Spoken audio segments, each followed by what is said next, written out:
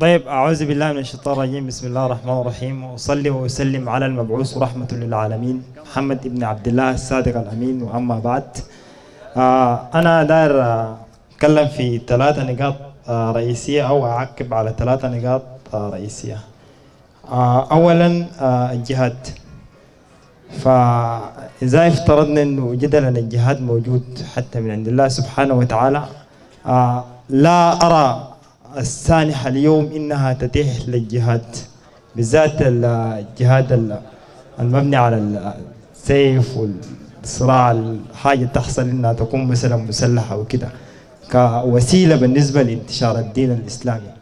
فالسند والمثال الآن الموجود عندي آه، إن كان مثلا الجهاد آه، يبنى على القوة أو العتاد العسكري الموجود فلن نستطيع أن نوصل الدين الإسلامي لأبعاد بعيدة على مستوى العالم ولكن آه، بحمد الله وقوته آه، بنضوج الفكر والعلم والمعرفة آه، استطاع العلماء المسلمين أن يوصلوا الدين الإسلامي أقصى بقاع الأرض وفي أمريكا وغيرها. فإن كان مثلا العتاد بالنسبة للقوى والحياة دي ما ممكن حتى إنه يلحق الصحراء الكبرى سايد. ولكن آه، استخدم العقل آه، قوة العقل والتفكير. فإنه آه، بطريقة سلمية. كويس؟ وصل الآن. يوجد مسلمين في أمريكا يوجد مسلمين في شتى البقاع على مستوى الدول الأوروبية وغيرها وغيرها وغيرها. فإنه شنو؟ ال- ال- النشر ده النشر ده كان عبر العلم والمعرفة وتطور وسائل العلم والمعرفة.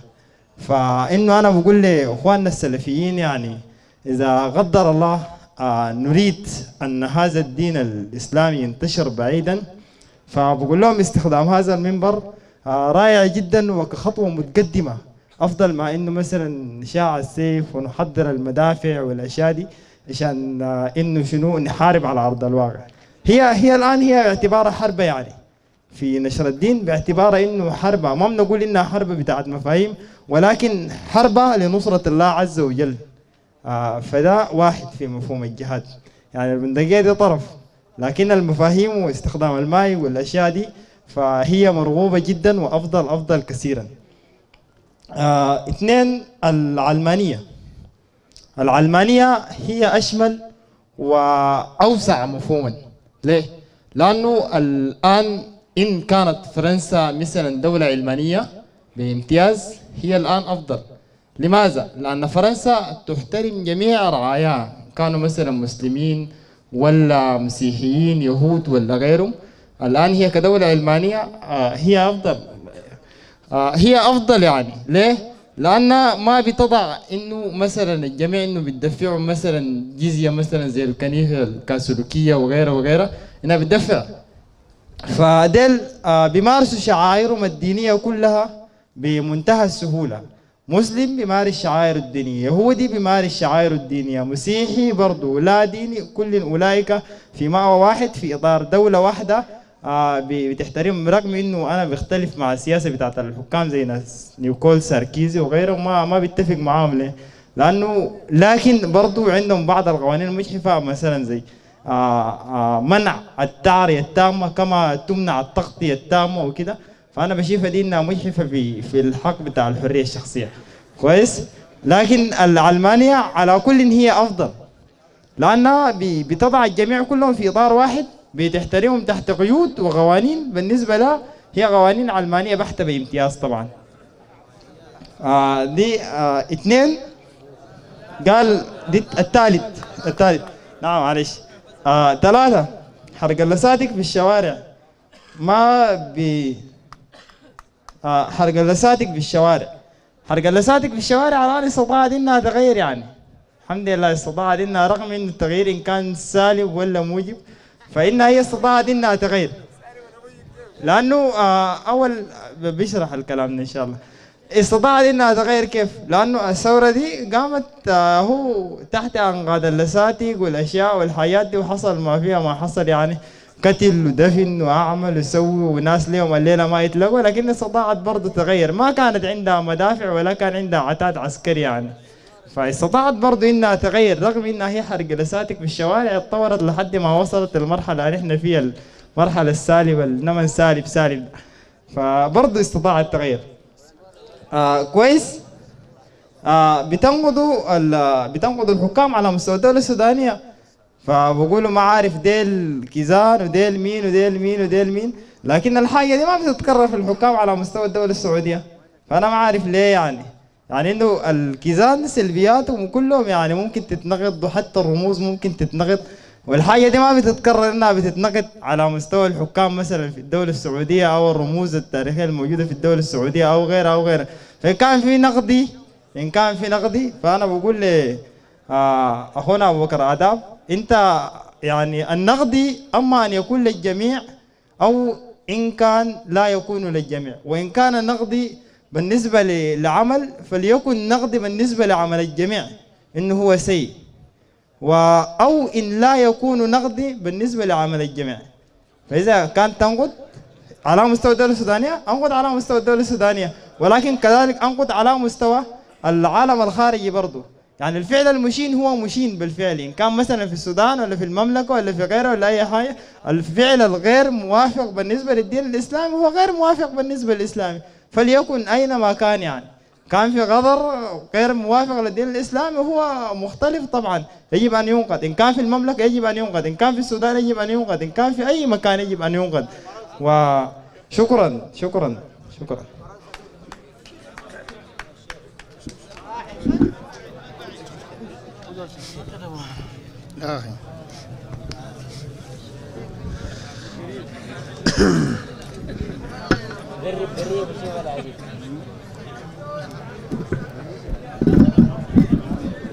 آه. طيب الحمد لله.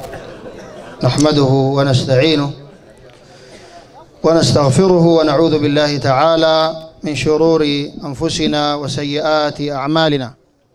وأشهد أن لا إله إلا الله وحده لا شريك له وأشهد أن محمدا عبده ورسوله صلى الله عليه وعلى آله وصحبه وسلم.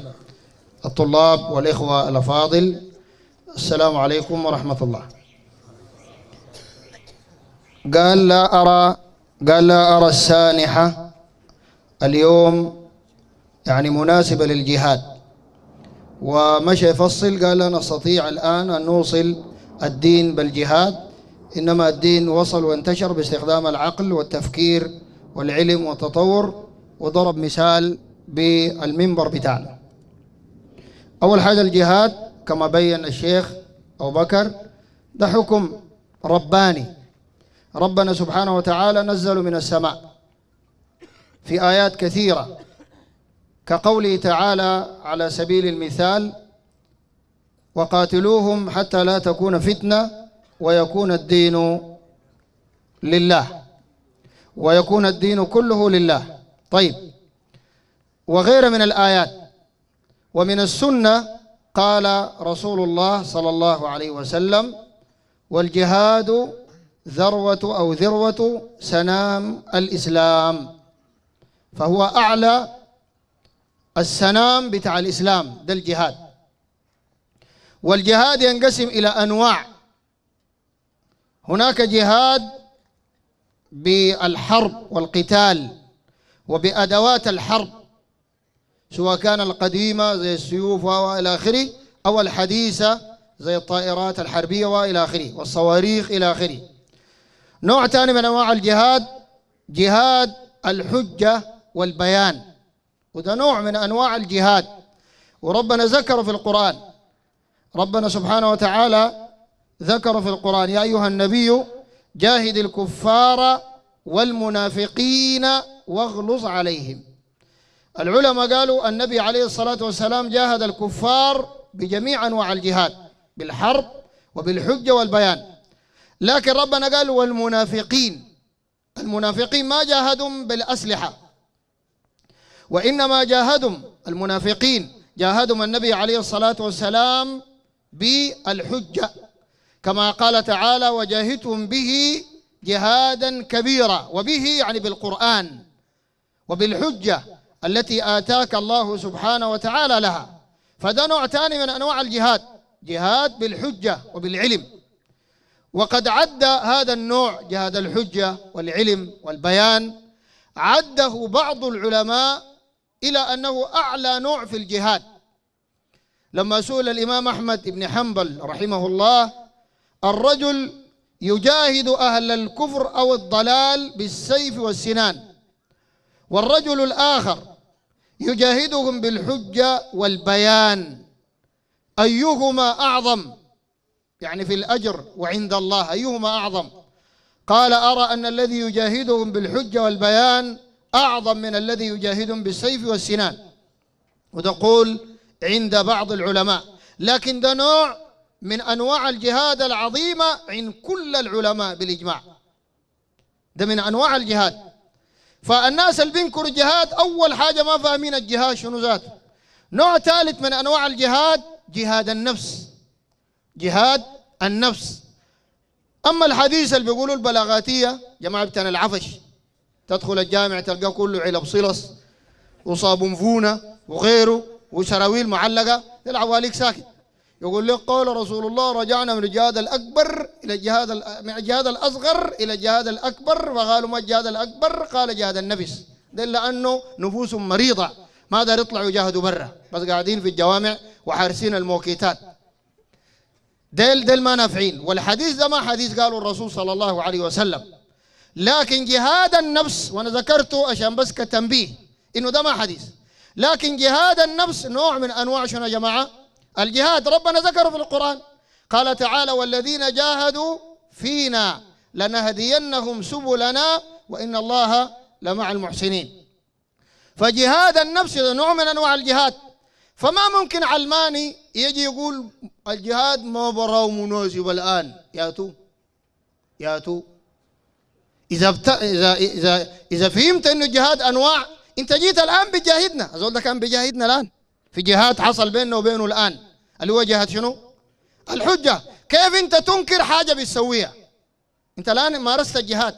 تنكره كيف؟ ما جهادك لكن بالباطل. لكن في النهاية جهاد جاهدتنا. وكل ما بذل الإنسان فيه الجهد والتعب والنصب فهو لغة جهاد. افهموا يا علمانيين ندرسكم لغة ولا ندرسكم شنو نحن كيمياء؟ ولا ندرسكم شنو نحن؟ موجودة كلمة جاءت في اللغة. خلي القرآن والسنة كذب عشوائي حنجيها. في اللغة ساكت موجودة. من الجهد. بلغ من الجهد غايته. يعني بلغ من المشقة والتعب شنو؟ غايته. العمل. الشغل ده نوع رابع من أنواع الجهاد. العمل. زول شغال طلبة. بيعتل المونة وشغل الأسمنت في ظهره. وزول شغال عتالي بتاع دقيق. وعتالي بتاع شوايل سكر وزول شغال طبيب وزول شغال مهندس وزول شغال أستاذ بيدرس في الطلبة. ويا ود أقعد يا ود ما تتكلم يا ود ما تكورك يا ود أسكت يا ود أسمع الكلام. نهاره كله في الحصة أستاذ معلم. ده جهاد ده نوع رابع من أنواع الجهاد. النبي عليه الصلاة والسلام في حديث رواه المنذري أو نقل المنذري في الترغيب وصحه الألباني هناك في صحيح الترغيب. أن رجلا عظيم الجسم ذو قوي. جمار بالصحابة فقال الصحابة لو كان هذا في سبيل الله. القوة بتاعته دي لو كانت في الجهاد في سبيل الله. كان أفضل يعني. فقال النبي عليه الصلاة والسلام دار يوري منه الجهاد في سبيل الله؟ أنواع. ماذا ما بيفهموا العلمانيين ديل؟ ديل ترنقع ما فاهمين. علمانيين السودانيين علماني. وصاحب ضلال ورافض للدين وكسلان ما بيقرأ. والله العظيم. العلمانيين البردك مع كفرهم وإلحادهم شوية كده فيهم ناس بيقروا وبيطلعوا. وحتى الشبهات اللي بيجيبوها عشان يضربوها الإسلام ممكن تكون شبهات متجددة في بعض جزئياتها. لكن ده ما عندهم اي شبهه علمانيين هذول في البلد ما عندهم أي حاجة. كلامهم القديم ذاك بوصل اللبن وما بعرفوا شنو. كلام فارغ ساكت. ما عنده أي أساس من من القوة ومن الحجة ومن العلم. والله لليلة قريب 20 سنة شغالين أركان لليلة ما لقينا علماني جاب له شبهة كده دي نقوم ونقعد له ونبحثها ما في خالص. أنتوا لقاكم؟ ما في أي حاجة. فالنبي عليه الصلاة والسلام ده يعلمهم قال لهم لو كان هذا الرجل الجسيم ده خرج على أطفاله صغارا. داير يشتغل عشان عنده أولاد شفع صغار يجيب لهم الأكل. فهو في سبيل الله. قال لهم ده نوع من أنواع الجهاد. أنت بتنكر ده علماني؟ ده يسمى جهاد. أنت قلت الجهاد برا إنه ما مناسب. ده عندنا في الإسلام نوع من أنواع الجهاد برضه بتنكروا ولا ما عارفوا أصلا من الجهاد؟ النبي عليه الصلاة والسلام قال لهم فهو في سبيل الله. ولو كان خرج على أبوين شيخين كبيرين. الرسول يقول لهم كده. ولو كان خرج على أبوين شيخين كبيرين فهو في سبيل الله. عنده ابوه وأمه عجائز وكبار. طلع يجيب لهم لقمة الكسرى ما يشتغل. قال لهم ده جهاد في سبيل الله. قال ولو كان خرج على نفسه يعفها. يشتغل عشان ما يمد يده للناس. فهو في سبيل الله. ده برضه نوع من أنواع الجهاد. فأنا بتعجب من واحد يقول لك العلمانية طبعا العلم هو أول زول جاهل وما بفكر خالص. يقول لك لما دايرين الجهاد وما بحبه. ما تحبه يعني شو ما بتحبنين بنحبه؟ جهاد ده دايرينه بس لما نجي زي ما قال لك الشيخ لما نجي شروطه وأحكامه إنه نجاهد وراء حاكم مسلم رفع راية الجهاد إن شاء الله بتشوف الشغل بعدين. طيب. فدي كلها أنواع من أنواع الجهاد. فالجهاد ذروة سنام الإسلام دي عقيدة تعتقدها أنت كمسلم بعدين من باب الحرية العلماني ده وغيره من العلماني اللي بيقولوا ما دايرين جهاد ديل إنتوا قلتوا حرية يعني شنو؟ يعني كل زول حر مما يناقض الحرية إنك تيجي تقول لنا شنو؟ ما تجاهدوا صحيح ولا ما صحيح؟ إنت ما قدرت تجاهد قلت دي حريتك نحن دايرين شنو؟ نجاهد لما نجي وقت الجهاد وأحكامه وشروطه الحددت في الكتاب والسنة دايرين نجاهد. حرية ولا ما حرية؟ حريه نحن فكونك تجي تكبت حريتنا ده تناقض في منهجك كعلماني. بتدعو لشنو يا جماعة؟ الحرية المطلقة. انت ما داير تجاهد. نحن حريتنا نجاهد. انت ما داير مرتك واختك تلبس نقاب وحجاب. دايرة تمشي نيلي. صح ولا ما صح؟ نحن حرين. انه نسواننا وزوجاتنا. ديل نحن كمسلمين بنعتبرهم سلعة غالية أغلى من الذهب والماس ومن جميع الجواهر واليواقيت بنغطيها. عشان ما يجي علماني عفن يشوفها حرين ولا ما حرين؟ حرين ولا ما حرين؟ حرين! بس لأن ناقشكم بالحرية كده. قبل ما نجيب قال الله وقال رسول الله صلى الله عليه وسلم بل حرية. أنت كحرية حرية. ما داير جهاد نحن كحرية حرية. دايرين جهاد. صحيح ولا ما صحيح؟ أنت كحرية حرية. ما داير يحكمك بالإسلام نحن حرية حرية. داير نحكم بالقرآن وبسنة النبي عليه الصلاة والسلام. فالعلمانيين ده بيرفعوا شعار الحرية وما فيهم زول حر واحد خالص. جيبوا لي علماني حر؟ ما في. خالص ما في. أصلا لو اسمع اسمع. لو أنتوا حريصين وصادقين يا علمانيين ويا ملاحدة ويا غيره من الشيوعيين حريصين وصادقين في إطلاق الحرية وأي زول حر وأي زول حر حقه ما تعترض شنو؟ علي واحد. اثنين حقه ما تفهمني فكرك لأنه أنا حر في منهجي وعقيدتي. معناته ما تتكلم أصلا. أنا قلت أي حاجة خلوه حر حر حر حر. صحيح ولا ما صحيح؟ كونك جيت اعترضت علي مجرد اعتراض. ده يناقض شنو يا جماعة؟ الحرية. عشان كده ما في حرية عند الجماعه ده المستهبلين وكذابين العلمانيين ديل. لابد الطلبة يفهموا الكلام ده جيدا. وكل الشعارات اللي رفعوها حرية سلام وعداله كلها كذب. كلها كذب ونفاق عشان يوصلوا بها لكراسي السلطة. والواقع شنو؟ يشهد. طيب بعد ذاك قال نوصل الدين باستخدام العقل والعلم والتطور. طبعا إحنا ذاتنا شغالين كده الآن. كاميرا. أنت ما عندك كاميرا ذاته. وده شغل جاي. اشتريناه من السوق العربي. عرفته؟ هو ده شغال قاعد. والشغل ده بيحضروا وين؟ وفي ناس هنا بيرفعوا مباشر. وغيره. الآن قاعد نوصله. والحمد لله صوت الإسلام وصل أكثر من العلمانيين في البلد صح ولا ما صح؟ صح ولا ما صح؟ ذاك العامل شعره طويل ذاك مولانا مين ما اعرفه ذاك؟ ذاك شغال خاشي. خاشي ومارق وين ناس الشرطة؟ قاعد يمشي يشكي من المنبر ده قال. قال المنبر ده لابد يقيف. ده ما كابتن الحريات هسه؟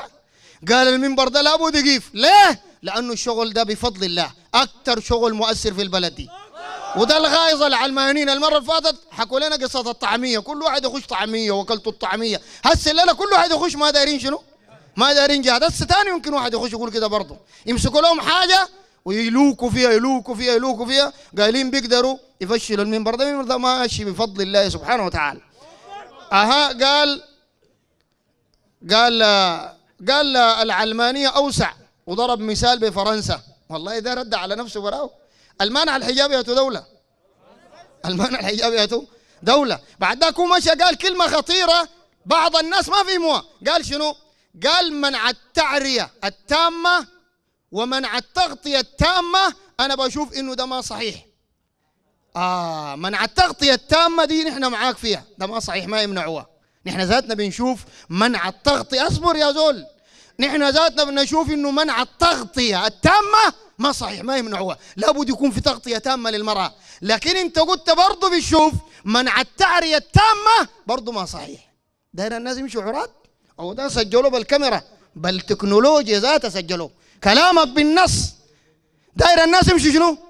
عرايا كده خلي أي حاجة. هسه لو قلنا لك ملص بتقدر؟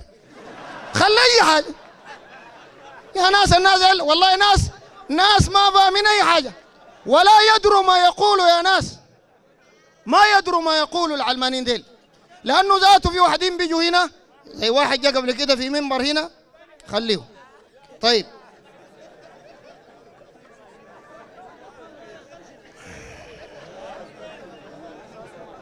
قال أنتم بتنقضوا في الحكومات هنا في السودان لكن هناك في السعودية ما قاعد تنقضوا. والدليل قال إنكم نقضتوا قبل كده الكيزان يعني في زمن الكيزان. أول نقطة يا جماعة في كلامه ده في فرق العلماء كلهم قالوا كده وبديك أدلة وشواهد وآثار وقصص من السلف وغيرها. كونك تتكلم عن الأحزاب ما في مشكلة الضالة دي لأنه الإسلام ما فيه أحزاب. كل الأحزاب دي باطلة. يعني الكلام بتاع الأخوان المسلمين والجبهجية والكيزان بتاع نعمل سويا فيما اتفقنا فيه ويعذر بعضنا بعضا فيما اختلفنا فيه ده من أبطل الباطل.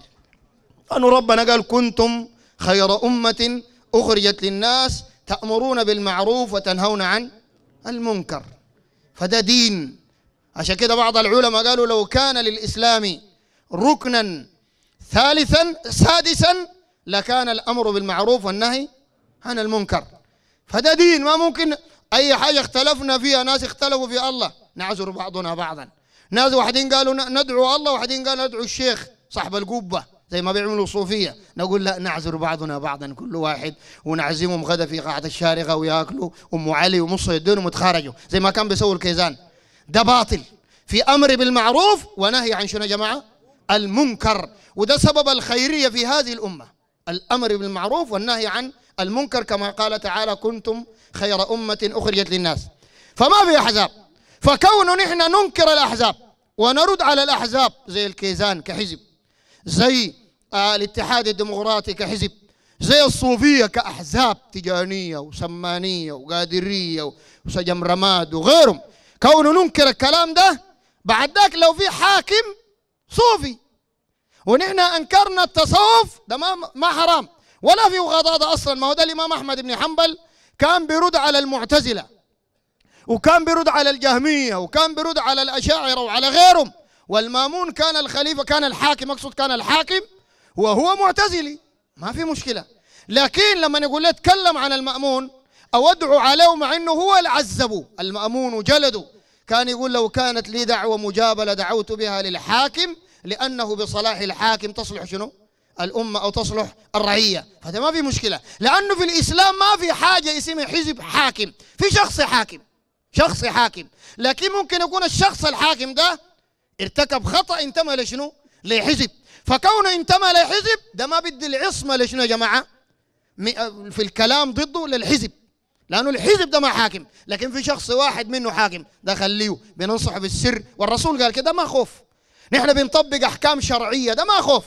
وأكبر دليل إنه ده ما خوف إنه مواقفنا ما قاعد تتغير ابدا لأنه ده الكتاب والسنة.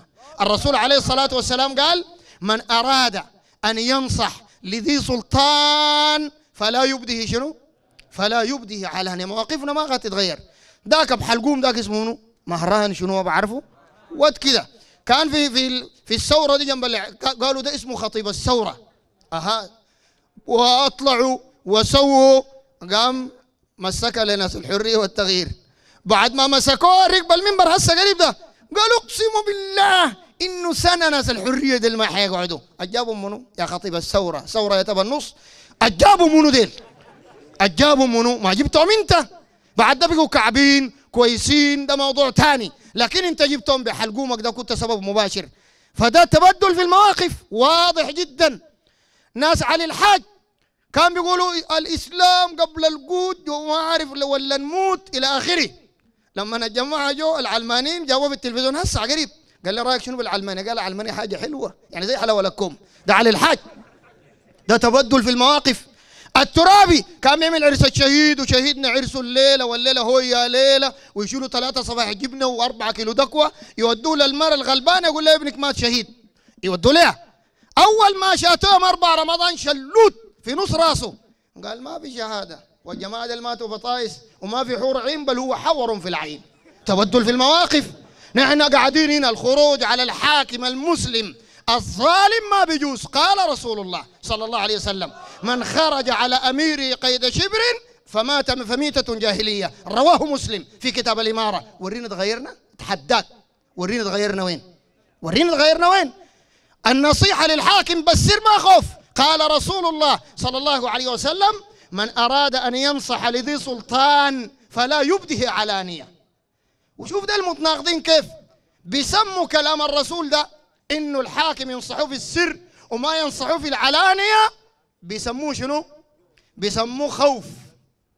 خوف وخور زي ما بيسموه ناس عبد الحي يوسف الفاشل الضال. بيسموه خوف وخور. شفت كيف؟ وبيسموه رضا بالجهل. لما نجي نرد نحن ذاتنا على عبد الحي وأمثاله وحتى العلمانيين لما نرد عليهم يقول لنا بالراحه وتعالوا لنا بالسر طيب قبل ما قلتوا النصيحة ديك في السر ده خوف. ما قلتوا كده؟ ده برضه تبدل وتناقض في فتاوى هؤلاء. المنهج السلفي ومنهج السلف الصالح الصحابة. القرآن والسنة بفهم الصحابة. وروني اتغيرنا وين؟ تحدي مفتوح. تحدي مفتوح. علماني ملحد شيوعي إيطالي. تعال ورينا تغيرنا بتين. ده منهجنا. توحيد واتباع النبي عليه الصلاة والسلام. دايرين الناس تعبد الله براو. ما تعبد فكي ولا قبة ولا شيخ طريقة ولا تمشي تعصر لك كرعين شيخ ولا يبزغ لك في راسك. بزغ لك ما خت له في راسه طوالي. عرفت كلامي؟ ده منهجنا. نحن ما تغير. منهج ده ما تغير. قاعد زي ما هو. زي ما هو ما تغير ابدا. ولا بيتغير. لكن أنا كبشر ممكن أضل فلان كبشر ممكن يضل لكن المنهج ده ده الوحيد اللي ما بيتغير. لأنه منهج ربنا. ربنا قال أفلا يتدبرون القرآن؟ ولو كان من عند غير الله لوجدوا فيه اختلافا كثيرا. لكن ده من عند الله. عشان كده ما في اختلاف ولا تناقض بعد ذاك قال قال لابد يكون ال ال الرد أو التغيير وكده على مستوى الجميع. في السعودية في السودان. أيوه على مستوى الجميع.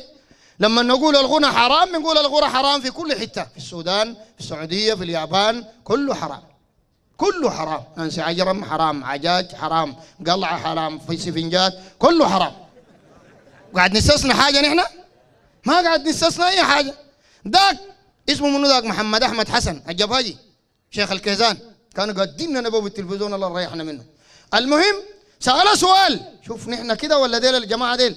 قالوا له رأيك شنو في المصافحة؟ عاين كده لقى جماعة بتاع عندقون.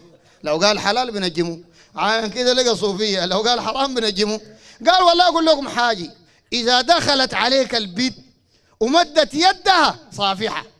أما إذا دخلت إنت عليها ما تمد يدك تصافحها. رضيتوا هاي رضيتوا تقبل الله. والله زي ده نحن ما عندنا كلام زي ده. المصافحه حرام. قال رسول الله صلى الله عليه وسلم لئن يطعن أحدكم بمخيط من حديد من حديد في أم رأسه خير له من أن يمس امرأة لا تحل له. قال رسول الله صلى الله عليه وسلم إني لا أمس أيدي النساء. رواه السيوطي في الجامع وصححه الألباني بصحيح الجامع.